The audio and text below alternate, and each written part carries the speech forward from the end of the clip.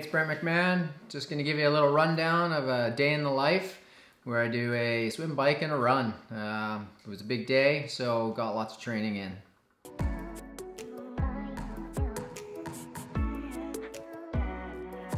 So I started uh, today off with my usual morning ritual of uh, eight hours sleep uh, and a coffee.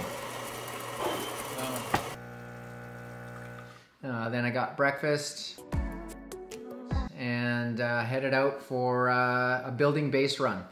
Um, that was the first workout of the day, so I had to prepare for that. Um, got my fuel belt ready, make sure I had enough hydration, nutrition with me for that. Um, did two loops of my uh, favorite lake, Elk Lake, 10K around, and I built through that as I went. Started off with 10 minutes easy, 30 minutes at just a comfortable base pace, which is about four minute K pace. Then built it for the next uh, 6K at uh, about 345 K pace. And then the last 4K was about 330, 335 K pace. So good solid effort. A little bit at Ironman pace, a little bit faster than Ironman pace, and uh, just a good strong effort over about an hour and 25 minutes.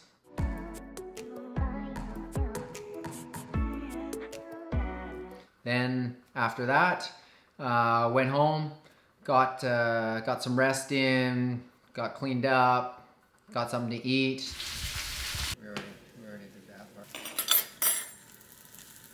and then I had a bike workout still to do and a, a short swim at the lake. So got all my bottles organized. Um, it's important to when you're doing, you know, a big day like this where you've got three workouts all to do is that you stay hydrated and you stay fueled. So I like to eat real food uh, when I can in between workouts. So um, doing the run workout in the morning, um, means that you know after that I can actually eat uh, some real food. You know whether that's a sandwich or some pasta um, or some eggs. Um, I can eat that before I head out on the bike ride. So stomach's a little bit easier to handle when you're on the bike.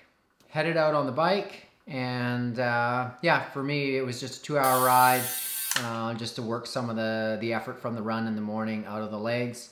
So just kind of went uh, one of my normal routes uh, where I ride around the waterfront uh, of Victoria. So it's a pretty beautiful ride, and uh, you know it's just nice to you know see the scenery sometimes when you're not doing a really specific workout. So hit two hours on the bike. Legs felt crappy at the beginning, but uh, by the end things started to feel a bit better, and you know that's why you do it. You uh, do the hard work, and then you got to work it out. So I finished the ride at Thetis Lake where I was going to do my lake swim. So um, my partner Carolyn was there uh, with the truck and all the gear and uh, threw the bike in the back and then headed up to the lake to go for a swim.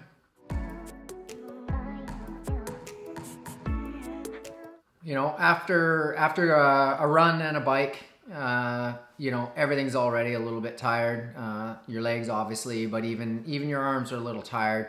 Um, when you're riding a time trial bike, you know, your shoulders get a little bit tight. So um, starting off a, a, swim, you know, after a bike and a run, um, you just got to remember that things aren't going to feel great. I just start off easy, you know, uh, put on the wetsuit, stay warm, uh, get a little bit of buoyancy there, and um, just not worry about trying to feel good right away.